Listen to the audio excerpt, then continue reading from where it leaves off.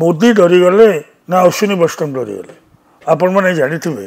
ଯେ ଗତ ନିର୍ବାଚନରେ ଦୁଇ ହଜାର ଚବିଶ ନିର୍ବାଚନରେ ବିରୋଧୀ ଦଳ ମିଛ ଡରକୁ ଅସ୍ତ୍ର କରିଥିଲା ରାହୁଲ ଗାନ୍ଧୀ ହୁଅନ୍ତୁ ମମତା ବାନାର୍ଜୀ ହୁଅନ୍ତୁ କି ଅଖିଳେଶ ଯାଦବ ହୁଅନ୍ତୁ କିଏ ବି ହୁଅନ୍ତୁ ସେମାନେ କ'ଣ କହୁଥିଲେ ନରେନ୍ଦ୍ର ମୋଦି ଡରିଗଲେ ଏହାଦ୍ୱାରା ନରେନ୍ଦ୍ର ମୋଦିଙ୍କର ଯେଉଁ ନାରା ଥିଲା ଅଫ୍ କି ବାର ଚାରିଶହ ପାର ତାକୁ ଏମାନେ ସକ୍ସେସଫୁଲ୍ କାଉଣ୍ଟର କଲେ ଏବଂ ଅନେଶ୍ୱତ ତା ସିଟ୍ କଂଗ୍ରେସ ପାଇଲା ଯେ ଆରଥର ଚଉରାଳିଶଟା ମାତ୍ର ପାଇଥିଲେ ଭାରତୀୟ ଜନତା ପାର୍ଟିର ଯେଉଁ social media manager Amit Malviya ସେ ଏଇ ଯେଉଁ ଡରିଗଲେ ମୋଦି ଡରିଗଲେ ମୋଦି ଡରିଗଲେ ତାକୁ କାଉଣ୍ଟର କରିପାରିଲେନି ବିରୋଧୀ ଦଳମାନେ ଦୁଇହଜାର ଚବିଶ ଆଉ ଗୋଟେ କଥା କହିଲେ ନରେନ୍ଦ୍ର ମୋଦି ଯଦି ଆସନ୍ତି ତାହେଲେ ସମ୍ବିଧାନ ବଦଳିଯିବ ନରେନ୍ଦ୍ର ମୋଦି ଯଦି ଆସନ୍ତି ମୁସଲମାନମାନେ ଦେଶରୁ ଚାଲିଯିବେ ନରେନ୍ଦ୍ର ମୋଦିମାନେ ଯଦି ଆସନ୍ତି ତାହେଲେ ଏଇଟା ହିନ୍ଦୁ ରାଷ୍ଟ୍ର ହେଇଯିବ ଆଉ ନରେନ୍ଦ୍ର ମୋଦି ଯଦି ଆସନ୍ତି ତାହେଲେ ଗଣତନ୍ତ୍ର ବିପଦରେ ପଡ଼ିବ ଏ ଥିଲା ତାଙ୍କ ନାରା ଭାରତୀୟ ଜନତା ପାର୍ଟିର କୌଣସି କ୍ୟାମ୍ପେନ୍ ମ୍ୟାନେଜର ଅମିତ ମାଳବ୍ୟଙ୍କ ଭଳିଆ ଜଣେ ଯିଏ ବସିକରି ଟ୍ୱିଟ୍ କରୁଛନ୍ତି ଟ୍ୱିଟ୍ କରୁଛନ୍ତି ଟ୍ୱିଟ୍ କରୁଛନ୍ତି ସେମାନେ ମଧ୍ୟ ସକ୍ସେସଫୁଲ୍ କାଉଣ୍ଟର କରିପାରିଲେ ଆମେ ଦେଖିଛେ ଭାରତୀୟ ଜନତା ପାର୍ଟିର ଲକ୍ଷ୍ୟ ଯେ ରାଷ୍ଟ୍ର ପ୍ରଥମ ସେମାନେ ଭାରତୀୟ ସଂସ୍କୃତି ଭାରତୀୟ ଅସ୍ମିତା ହିନ୍ଦୁତ୍ୱ ଉପରେ କାମ କରନ୍ତି ତାଙ୍କ ଏଜେଣ୍ଡା ଜନସଂଗଠନ ଆଜି ନୁହଁ କିନ୍ତୁ ହିନ୍ଦୁଙ୍କୁ ଡିଭାଇଡ଼ ନ କଲେ ଜାତିରେ କୌଣସି ଦଳ ଏଠିକି ଆସିପାରିବ ନାହିଁ ସେଥିପାଇଁ ନରେନ୍ଦ୍ର ମୋଦିଙ୍କ ଅବକବାଦ ଚାଷ ପାର୍କକୁ କାଉଣ୍ଟର ଦୁଇଟା କଥା କରାଗଲା ମୋଦି ଡରିଗଲେ ସମ୍ବିଧାନ ବଦଳିଯିବ ଏଇଭଳିଆ ବିଷୟ ଆଜି ମୁଁ ଯେଉଁ ଆଲୋଚନା କରୁଛି ଇଏ ହେଉଛି ଅଶ୍ୱିନୀ ବୈଷ୍ଣବ ଡରିଗଲେ ଅଶ୍ୱିନୀ ବୈଷ୍ଣବ ଆମ ଓଡ଼ିଶାରୁ ଜିତିକି ଯାଇଛନ୍ତି ବୋଧହୁଏ ମନ୍ତ୍ରିମଣ୍ଡଳରେ ସବୁଠୁ ବେଶୀ ପାଠ ପଢ଼ିଥିବା ବେଶୀ ଯୋଗ୍ୟ ବେଶୀ ସ୍ପଷ୍ଟ ପାରଦର୍ଶୀ ମନ୍ତ୍ରୀ ହେଉଛନ୍ତି ଅଶ୍ୱିନୀ ବୈଷ୍ଣବ ଓଡ଼ିଶାରେ କାମ କରୁଛନ୍ତି ଆମେ ତାଙ୍କୁ ଦେଖିଛେ କଟକର ଜିଲ୍ଲାପାଳ ଥିଲେ ବହୁତ ଜ୍ଞାନୀ no doubt in it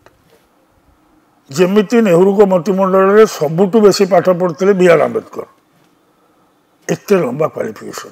Nehru third division में पास करते से प्रधानमंत्री हेले और कंग्रेस को बाहर कर दिगला ये मुझे कहीं अश्विनी वैष्णव कथा गत सप्ताह मत जड़े ओडिया कलाकार बम्बे फोन कले कहले भाई आमर बम्बे गोटे इस्राएल फिल्म फेस्टिवल होଉଛି ଭଲ କଥା ଆପଣ ଆସିବେ ମୁଁ ଜମା ଯାଇପାରିବିନି ଯିବାର ପ୍ରଶ୍ନ ଉଠୁନି ସେ ଆଜି ଫୋନ୍ କରି କହୁଛନ୍ତି ଇସ୍ରାଏଲ୍ର ଯେଉଁ ଫିଲ୍ମ ଫେଷ୍ଟିଭାଲ୍ ଯେଉଁ ହେବାର ଥିଲା ତାକୁ ଇନଫର୍ମେସନ୍ ଆଣ୍ଡ ବ୍ରଡ଼କାଷ୍ଟିଂ ମିନିଷ୍ଟ୍ରି ବାତିଲ କରିଦେଇଛି ଇନଫର୍ମେସନ୍ ଆଣ୍ଡ ବ୍ରଡ଼କାଷ୍ଟିଂର ମନ୍ତ୍ରୀ କିଏ ଅଶ୍ୱିନ ବୈଷ୍ଣବ କାହିଁକି ବାତିଲ କଲେ ନସିରୁଦ୍ଦିନ ଶାହା ଅମିର ଖାନ୍ ନସିରୁଦ୍ଦିନ ଶାହାଙ୍କ ସ୍ତ୍ରୀ ହେଉଛି ରତ୍ନା ପାଠକ ଯେଉଁମାନେ ସବୁବେଳେ କହନ୍ତି ଯେ ସିନେମାର ଆଉ କଳାର ଗୋଟେ ସୀମା ସରହଦ ନାହିଁ କୌଣସି ଆର୍ଟିଷ୍ଟକୁ କୌଣସି କବି କି କୌଣସି ଅଭିନେତାକୁ ବାଧ୍ୟ କରାଯାଇପାରିବନି ତୁ ଏହାରି ପାଇଁ କ୍ୟାମ୍ପେନ୍ କର ଏଇ ଉପରେ ଯା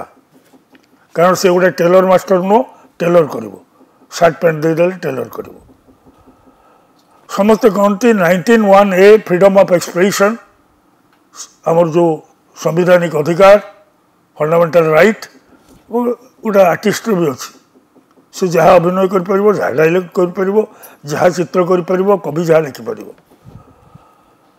କିନ୍ତୁ ଏମାନେ ବିରୋଧ କରିଥିଲେ କାଶ୍ମୀର ଫାଇଲ୍କୁ ଏମାନେ ବିରୋଧ କରିଥିଲେ କେରଳ ଫାଇଲ୍କୁ ଏମାନେ ବିରୋଧ କରିପାରିନଥିଲେ ତସଲିମା ନସରିଙ୍କୁ ବଙ୍ଗଳାଦେଶର ଲେଖିକା ତସଲିମା ନସରିଙ୍କୁ ଯେତେବେଳେ ଲୁଚିରେ ଆସି ବଙ୍ଗଳାଦେଶରୁ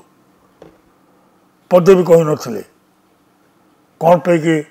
ତାଙ୍କ ଉପରେ ଅତ୍ୟାଚାର କରାଯାଉଛି ସେ କାହିଁକି ଭାରତରେ ଲୁଚିଲେ ସଲମାନ ରୁସିଦ ସାଟନିକ ଭର୍ସେସ୍ ତାଙ୍କୁ ଯେତେବେଳେ ହତ୍ୟା କରାଗଲା ଏମାନେ କେହି କହିନଥିଲେ किंतु इजराइल बॉम्बे रे hub film festival no not possible कारण पालेस्टाइन सहित इजराइल युद्ध କରୁଛି ପାଲେଷ୍ଟାଇନ ଫିଲ୍ମ ଫେଷ୍ଟିଭାଲ ହେଇଥିଲେ ଉଇକୁଡ଼ ହେବା ଆଉ ଇଏ ଏହା ଉପରେ ମାନେ ନକାରାତ୍ମକ ଦେଇ ମତ ଦେଇ ଗୋଟେ ଦାବି ଜଣାଇଲେ ଇନଫର୍ମେସନ୍ ଆଣ୍ଡ ବ୍ରଡ଼କାଷ୍ଟିଂ ମିନିଷ୍ଟରକୁ ଫାଇଲ୍ ଗଲା କାହା ପାଖକୁ ଅଶ୍ୱିନୀ ବୈଷ୍ଣବଜୀଙ୍କ ପାଖକୁ ଏସବୁ ଟୁ କ୍ୱାଲିଫାଏଡ୍ ସବୁଠୁ ଭଦ୍ର ସବୁଠୁ ଭଲ ଯେମିତି ମୋଦି ଡରି ଯାଇଥିଲେ ମୋଦି ଡରି ଯାଇଥିଲେ କିଏ କହିଲେ ବିରୋଧୀ ଦଳ ଏଠି ଇଏ ଡରିବା ଲୋକ ନୁହଁ କିନ୍ତୁ ଏହାକୁ ବାତିଲ କରିଦେଲେ ଇସ୍ରାଏଲ ଫେଷ୍ଟିଭାଲକୁ ବାତିଲ କଲେ ମୋର ଏଠି ପ୍ରଶ୍ନ ଯଦି ଆମେ କହୁଛୁ ପ୍ରତ୍ୟେକ ନାଗରିକର ଅଧିକାର ଅଛି ସ୍ପଷ୍ଟ ଭାବେ ନିଜକୁ ଉପସ୍ଥାପିତ କରିବ କହିବ ପ୍ରତ୍ୟେକ ନାଗରିକ ଜଣେ ସିନେମା ଆର୍ଟିଷ୍ଟ ହେଉ ଡ୍ରାମା ପେଣ୍ଡାଲରେ ନାଚୁଥାଉ କବିତା ଲେଖୁଥାଉ ଚିତ୍ର କରୁଥାଉ ପଥର ନେଇକି ମହା ଲିହାଡ଼ରେ କାଟିକିରି ନର୍ତ୍ତକି ଚିତ୍ର କରୁଥାଉ ସମସ୍ତଙ୍କର ଅଧିକାର ଅଛି ସେ ଯାହା ଚିନ୍ତା କରିବ ତାକୁ କରିବାକୁ